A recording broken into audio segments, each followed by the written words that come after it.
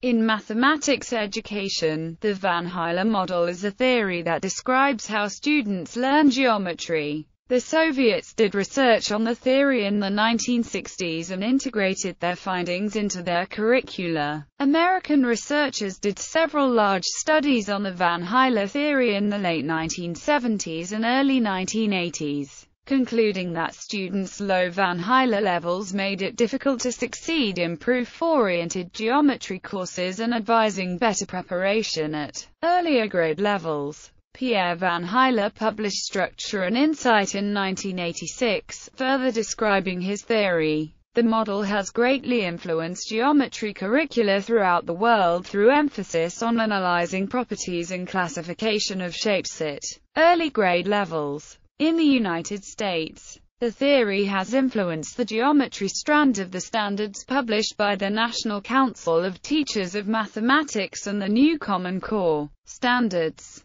Van Hiele levels. The student learns by rote to operate with mathematical relations that he does not understand, and of which he has not seen the origin. Therefore the system of relations is an independent construction having no rapport with other experiences of the child. This means that the student knows only what has been taught to him and what has been deduced from it. He has not learned to establish connections between the system and the sensory world. He will not know how to apply what he has learned in a new situation. Pierre Van Hiele 1959 The best-known part of the Van Hiele model are the five levels which the Van Hieles postulated to describe how children learn to reason in geometry. Students cannot be expected to prove geometric theorems until they have built up an extensive understanding of the systems of relationships between geometric ideas. These systems cannot be learned by rote, but must be developed through familiarity by experiencing numerous examples and counterexamples the various properties of geometric figures, the relationships between the properties, and how these properties are ordered. The five levels postulated by the Van Hieles describe how students advance through this understanding. The five Van Hiele levels are sometimes misunderstood to be descriptions of how students understand shape classification but the levels actually describe the way that students reason about shapes and other geometric ideas. Pierre Van Hiele noticed that his students tended to plateau at certain points in their understanding of geometry and he identified these plateau points as levels. In general, these levels are a product of experience and instruction rather than age. This is in contrast to Piaget's theory of cognitive development, which is age-dependent. A child must have enough experiences with these geometric ideas to move to a higher level of sophistication. Through rich experiences, children can reach level 2 in elementary school. Without such experiences, many adults remain in level 1 all their lives, even if they take a formal geometry course in secondary school. The levels are as follows. Level 0. Visualization. Children simply say, that is a circle, usually without further description. Children identify prototypes of basic geometrical figures. These visual prototypes are then used to identify other shapes. A shape is a circle because it looks like a sun, a shape is a rectangle because it looks like a door or a box, and so on. A square seems to be a different sort of shape than a rectangle, and a rhombus does not look like other parallelograms. So these shapes are classified completely separately in the child's mind. Children view figures holistically without analyzing their properties. If a shape does not sufficiently resemble its prototype, the child may reject the classification. Thus, children at this stage might balk at calling a thin, wedge-shaped triangle a triangle because it's so different in shape from an equilateral triangle, which is the usual prototype for triangle. If the horizontal base of the triangle is on top and the opposing vertex below, the child may recognize it as a triangle, but claim it is upside down. Shapes with rounded or incomplete sides may be accepted as triangles if they bear a holistic resemblance to an equilateral triangle. Squares are called diamonds, and not recognized as squares if their sides are oriented at 45 degrees to the horizontal. Children at this level often believe something is true based on a single example. Level 1. Analysis. At this level, the shapes become bearers of their properties. The objects are thought are classes of shapes, which the child has learned to analyze as having properties. A person at this level might say, a square has four equal sides and four equal angles. Its diagonals are congruent and perpendicular, and they bisect each other. The properties are more important than the appearance of the shape.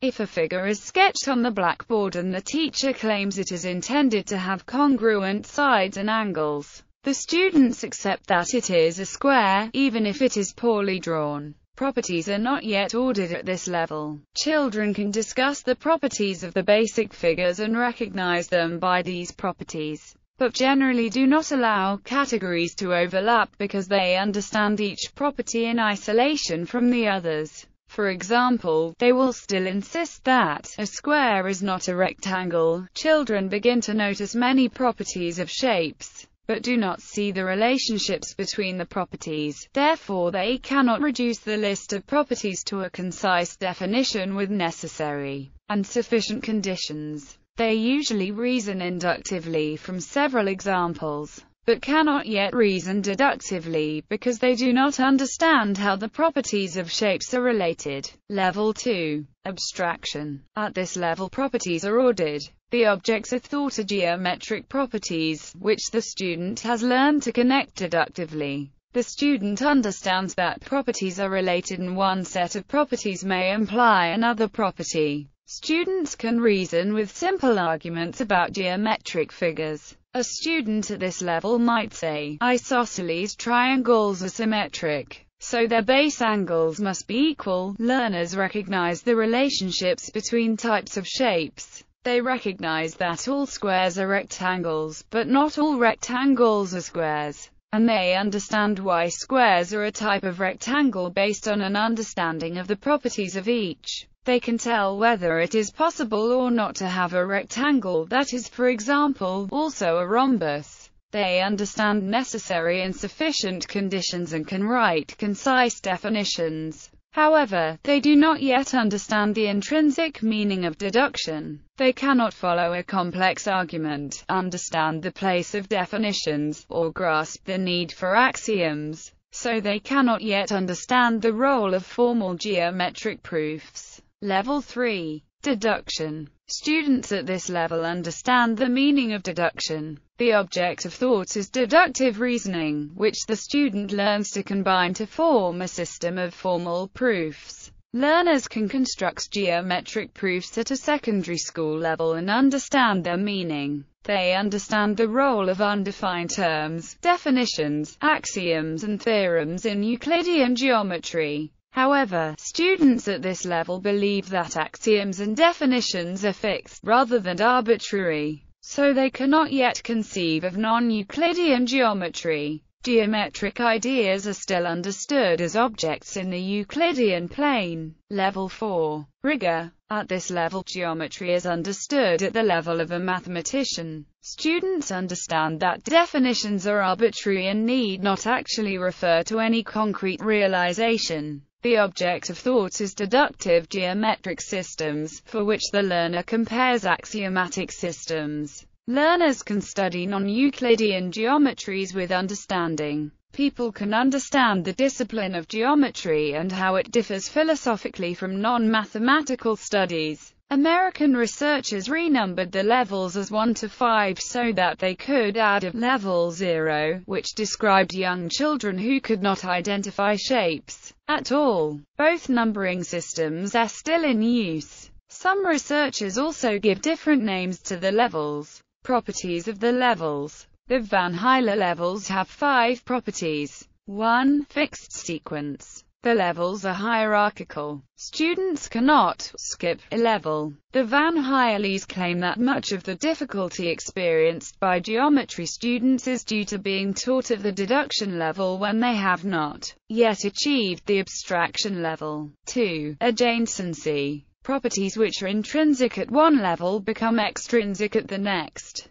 3. Distinction. Each level has its own linguistic symbols and network of relationships. The meaning of a linguistic symbol is more than its explicit definition, it includes the experiences the speaker associates with the given symbol. What may be correct at one level is not necessarily correct at another level. At level 0 a square is something that looks like a box. At level 2 a square is a special type of rectangle. Neither of these is a correct description of the meaning of square for someone reasoning at level 1. If the student is simply handed the definition and its associated properties, without being allowed to develop meaningful experiences with the concept, the student will not be able to apply this knowledge beyond the situations used in the lesson. 4. Separation. A teacher who is reasoning at one level speaks a different language from a student at a lower level, preventing understanding. When a teacher speaks of a square, she or he means a special type of rectangle. A student at level 0 or 1 will not have the same understanding of this term.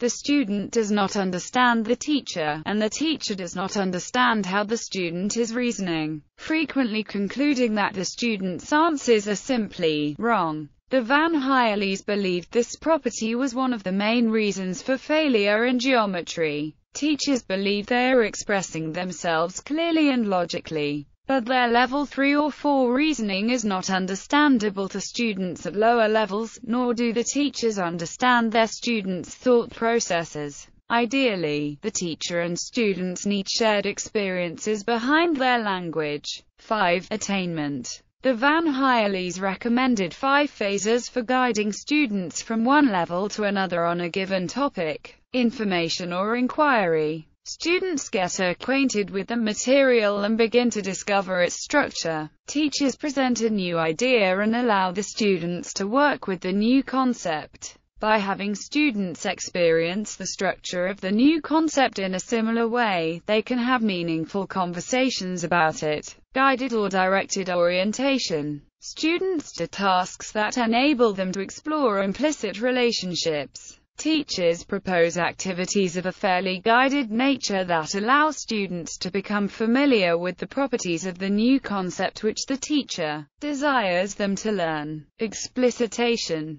Students express what they have discovered and vocabulary is introduced. The students' experiences are linked to shared linguistic symbols. The Van Hieles believe it is more profitable to learn vocabulary after students have had an opportunity to become familiar with the concept. The discoveries are made as explicit as possible. Free orientation. Students do more complex tasks enabling them to master the network of relationships in the material. They know the properties being studied, but need to develop fluency in navigating the network of relationships in various situations. This type of activity is much more open-ended than the guided orientation. These tasks will not have set procedures for solving them. Problems may be more complex and require more free exploration to find solutions. Integration. Students summarize what they have learned and commit it to memory. The teacher may give the students an overview of everything they have learned. It is important that the teacher not present any new material during this phase, but only a summary of what has already been learned. The teacher might also give an assignment to remember the principles and vocabulary learned for future work, possibly through further exercises. Supporters of the Van Hiele model point out that traditional instruction often involves only this last phase which explains why students do not master the material. For Dina van Hiele-Geldof's doctoral dissertation, she conducted a teaching experiment with 12-year-olds in a Montessori secondary school in the Netherlands. She reported that by using this method she was able to raise students' levels from level 0 to 1 in 20 lessons and from level 1 to 2 in 50 lessons. Research Using Van Hiele levels as the criterion, almost half of geometry students are placed in a course in which their chances of being successful are only 50 to 50. Zalman Usiskin, 1982 Researchers found that the Van Hiele levels of American students are low. European researchers have found similar results for European students. Many, perhaps most, American students do not achieve the deduction level even after successfully completing a proof-oriented high school geometry course probably because material is learned by rote, as the Van Hieles claimed. This appears to be because American high school geometry courses assume students are already at least at level 2, ready to move into level 3, whereas many high school students are still at level 1, or even level 0. See the fixed sequence property above. Criticism and modifications of the theory The levels are discontinuous, as defined in the properties above, but researchers have debated as to just how discrete the levels actually are. Studies have found that many children reason at multiple levels, or intermediate levels, which appears to be in contradiction to the theory. Children also advance through the levels at different rates for different concepts, depending on their exposure to the subject. They may therefore reason at one level for certain shapes, but at another level for other shapes. Some researchers have found that many children at the visualization level do not reason in a completely holistic fashion but may focus on a single attribute, such as the equal sides of a square or the roundness of a circle. They have proposed renaming this level the syncretic level. Other modifications have also been suggested, such as defining sublevels between the main levels, though none of these modifications have yet gained popularity.